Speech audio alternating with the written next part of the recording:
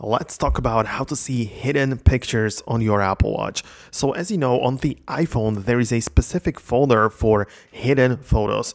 And it is a thing, you know, where you want to just put them away and it is actually locked on my device so I can enter it with the Face ID and everything, right? So if I want to make these photos show up on the Apple Watch, it's not like I can bring the hidden folder on the watch. At first, what I have to do is unhide these images like this one, I'm going to click on the three dots right here and I'm going to click on unhide.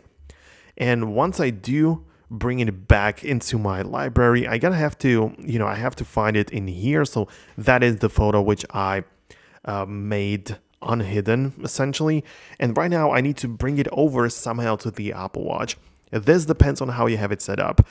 Uh, you can see it in the watch application on your iPhone when you scroll down to the photos section right here. So you can see that I have featured photos showing up on my Apple Watch and memories as well. But there is also one album which you get to pick to show up on your uh, Apple Watch. In my situation, it is the favorites folder. So I know that if I want a photo to show up on my Apple Watch, I need to bring it over into the favorites folder. If I choose it to be uh, the recents or compressed videos or anything I come up with, then that album is going to show up on my Apple Watch. So as you can see, favorites is the situation. So I'm going to come back, make the photo favorite, and now the photo which used to be hidden will now show up on my Apple Watch right here. So it is part of the favorites. I need to wait for the synchronization to happen properly.